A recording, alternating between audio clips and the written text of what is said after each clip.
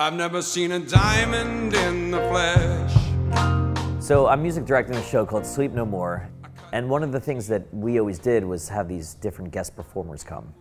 So one day we get a guest performer and it's a giant clown, like literally. And they didn't really tell me much about this guy, so I figured I'd just wing it.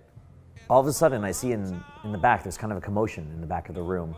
There's this very tall, giant clown. And He's got clown makeup, he's got the crown, he's going through with this lantern and like a suitcase, and he's kind of shuffling through the building, just like kind of knocking things over. And this is kind of a scary clown too. I don't know, like, you know, some people are afraid of clowns and whatnot he gets on stage and then he does the most amazing thing I've ever seen.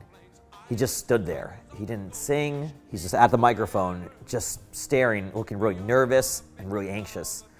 He stood there for about five minutes until there was a whole, whole hush over the room. And then he lets forth with this amazing baritone voice.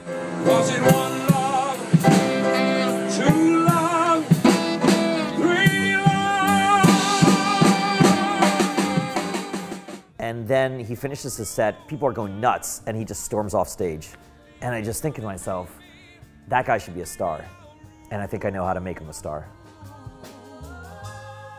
Let me live that fantasy.